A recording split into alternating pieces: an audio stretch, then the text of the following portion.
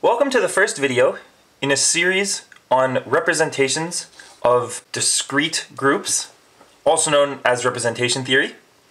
And there's a lot of different reasons that people are interested in studying representation theory.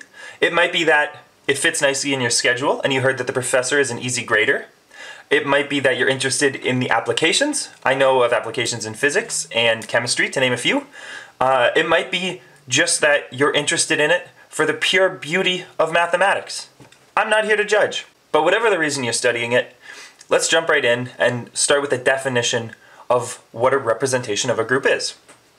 So a representation of a group G over a field F is a homomorphism, rho, that maps from your group to the group of general linear matrices, right? G, L, N, F. N is a natural number, and we say that N is the degree of the representation.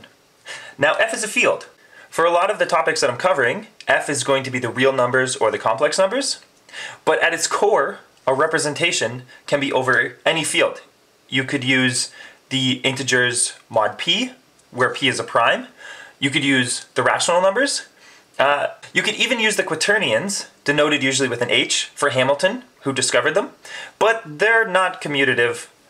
I'm going to leave them out for the purposes of our videos. And again, I'd like to mention that for this video series, we're going to be looking at discrete groups. There's a whole another topic of representations of Lie groups. Lie groups are continuous groups, of course. And I'm going to leave that for someone who's more qualified to make a YouTube playlist about. Okay, the next thing that I would like to do is give an example of a representation. Now this is going to seem a bit like magic at first. I'm just going to give it to you. I'm not going to explain where it comes from, but it'll give you an idea of what's going on with representations of groups, and it'll be a nice starting place that we can come back to and talk about in further videos. Okay, so the first example that I'd like to look at involves the group D8, right? That's the symmetries of a square. And we're going to be mapping to GL2R, right? So invertible matrices of dimension 2, right? They're 2 by 2 matrices with real entries in the array. D8 can be written in this form. This is called a presentation of a group if you've never seen that before and it uniquely specifies all the properties of D8. If you have two elements, A and B, that satisfy these relationships, then you have uniquely specified D8. If you have a collection of elements that similarly satisfy these one, two, three equations, you have D8. Here's the magic part. Now consider a map rho that takes in our element A and spits out some capital A and takes in our element B and spits out capital B. The convention that I'm going to try and stick to is that capital letters denote matrices and lowercase letters are just abstract group elements where A is given by this matrix right here and B is given by this matrix right here. Now, if these two matrices satisfy these conditions, these equations, then these guys are generators of D8 and the group that they generate is going to be a copy of D8. So let's go ahead and check that that is the case. So here, I just went through all the matrix multiplication. I just calculated powers of A until we found the fourth power of A, and it was indeed the identity. Uh, I promise I'll get better at writing my identities. Just give me some time. And B was a little bit more forgiving, a little bit more gentle. Uh, we just had to calculate the square of it, and we did indeed find that it was the identity. So we've satisfied these two equations. We've got a good start. So now we need to check this guy, check that this holds. Thankfully, we found what A inverse and B inverse were earlier, right? If we look at these two equations right here, we have that A times A cubed is equal to the identity, so A cubed is also A inverse.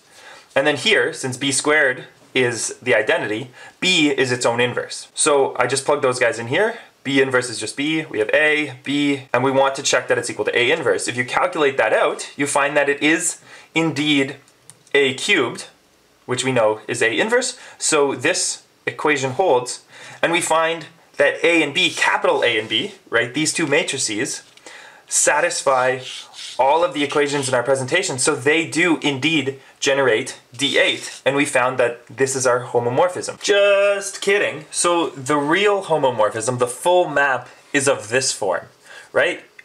any element of D8 can be written as a product of those two generators, some power of A times some power of B. We'll see all of those in just a second. And all that that map does is spit out powers of A and B, but now they're the matrix A and the matrix B that we saw earlier. And recall that A, whether it's capital A or, or lowercase a, right, A in the group before mapping or A in the, the matrix group after mapping, had degree 4. And B, again, both B's, had degree 2. So I can be 0, 1, 2, or 3, right? If you get to 4, it's the same as A to the power of 0 and j can be 0 or 1. Again, because b squared is just equal to the identity. Another way that you sometimes see these written out is by a table. And I'm not very good at planning ahead, so my table was one element longer than I was hoping it would be. And so you see, here are all of our group elements from the abstract D8, and here are all of them after they have been mapped. This is the representation of D8 of, of rho, right? The representation rho of D8. And this, and this is a homomorphism that maps from G to GL to R. This full extension of rho, this map here, is our first example of a representation. So we have that it's a homomorphism, we have a mapping from G to GL to R, so we have a degree 2 homomorphism over the field R, real numbers. So in a later video, we're going to look into more depth, uh, what is going on, how do you come up with these sorts of representations, these mappings, rho, and look at properties of representations. But this is just an introduction and hopefully that gave you an idea of what's going on. See you in the next episode.